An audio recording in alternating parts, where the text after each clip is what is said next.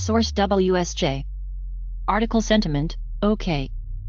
Apple to start making iPhones in India over next two months.